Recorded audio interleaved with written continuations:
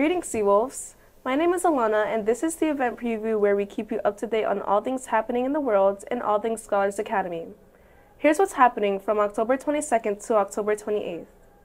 The end of Term 1, marking period 1, is this Friday, the 27th, which means that it's the time to celebrate our first group of outstanding scholars, the staff of the month, and the Hispanic Heritage Month cultural celebration. On Thursday, the 26th, our high school attend the OS Assembly, starting with the 9th and 10th graders at 9 a.m., followed by the 11th and 12th graders at 10.15 a.m. On Friday, the middle schoolers will attend the OS Assembly starting with 7th grade cohort B, along with the entire 8th graders, followed by the entire 6th graders in 7th grade cohort A at 10.15 a.m. Please remember that this is an official event and proper theater behavior is expected of everyone in attendance. Attention high school students, we're so excited to bring back the Afro and Caribbean Dance Residence Program this year. If you are interested in participating in the residency this year, learning and performing dance, please fill out the interest form located on your grade-wide Google Classroom by Monday, October 23rd.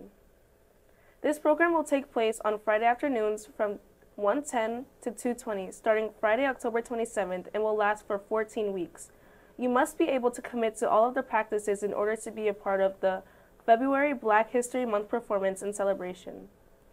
Please respond to all questions and answers in complete sentences. Signups will be first come, first serve. And now, here's Patrick with the sports and after school news report. Thanks, Alana, and hello again, everybody. Another week of sports in the books, and now here comes more news on yet another packed week in the sports department.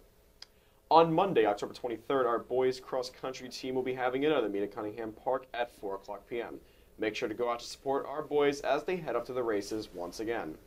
Following that, on Tuesday, October 24th, our girls cross country team once again will be having a meet at Cunningham Park at 4 o'clock p.m. So good luck to our cross country team. Also, our boys bowling team, continuing their impressive undefeated streak, will have one of their final meets at 4 o'clock p.m. at Funfest Lanes, so go bowl boys. A bit of an important note before we move on, a bowling meet for our boys was originally scheduled to occur on Wednesday, October 25th at 4 o'clock p.m. However, that has been postponed. In addition, make sure to go out on Tuesday, October 24th, as our girls' varsity soccer team will be playing at Fort Tilden against Epic High School North in their senior night game.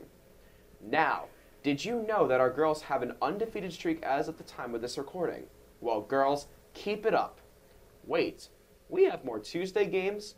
Oh, yes, we do. Our girls volleyball team here at home at 4:30 p.m. Make sure to come out to support our Lady Seawolves and also make sure to tune in to our Vimeo and other socials page where you may come to find a live stream of sorts. Finally, on Saturday, October 28th, our co-ed cross-country team, both boys and girls, will be having a group meet at 9 o'clock a.m. once again at Cunningham Park. So have fun out there, guys. And now, moving gears to our middle school. We still have our middle school girls volleyball team tryouts still ongoing, and games should be starting up relatively soon. So stay tuned as we provide you more information from the serving posts as soon as they come in. In addition, we will keep you posted on all things middle school sports as soon as we get them, so make sure to check after school sports calendar on our landing page or other sources of information for the latest middle school and high school sports information. And now, here is Tumi with the world news and cultural events. Thanks, Patrick. On Tuesday, October 24th is Dasara, a major Hindu festival celebrated every year at the end of Navaratri. It is observed on the 10th day on the month of Ashvin, the 7th in the Hindu lunar solar calendar.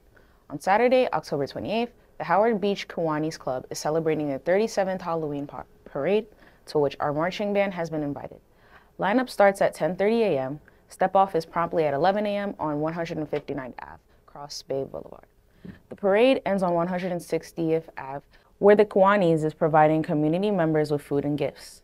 This event is not a scholars event, but it is free for all to attend. Community members can bring children in costume who can march in the parade. According to the Old Farmer's Almanac, the next full moon occurs on Saturday, October 28, 2023, and peaks at 4:24 p.m. Eastern Time. Something interesting about this is that parts of the world will witness a partial lunar eclipse during the full moon on October 28th in the United States. Only those located in the portion of the northeast will be able to see it, and only the penumbral stage will be visible. Lunar eclipses happen a few times a year and only during a full moon when the sun, earth, and moon align, with our planet in the middle. The sun casts Earth's reddish shadow onto the moon, creating an eclipse, whether total, partial, or penumbral, the most subtle. Here's Alana with the special school segment. Thanks, Tumi. Attention middle school families. Our school is excited to announce that we will be introducing a range of engaging middle school clubs for our students. The clubs will provide our scholars with opportunities to explore various interests and form new friendships during their lunch periods.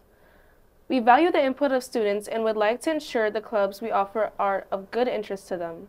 A Google form has been created for students to access through their Google Classroom and the morning messages. The, this form will allow students to indicate their preference and interests, and your child's participation in completing the form will greatly contribute to the planning and development of the clubs. Please remind your child to complete the form by October 24th if they are interested in joining a club.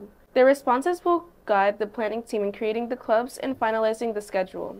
Once the clubs are established, all interested students will be provided with passes to attend their scheduled club meeting period during their lunch period.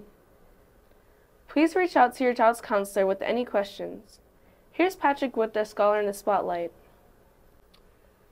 A Scholar in the Spotlight was not submitted for this particular week. However, if you would like to celebrate the accomplishment of a scholar, a staff member, or even a parent in our school community, or highlight a special event for our scholars in the Spotlight segment, please make sure to email a photo and a short blurb to Mr. Recinos or fill out the form located in our landing page under the important links section.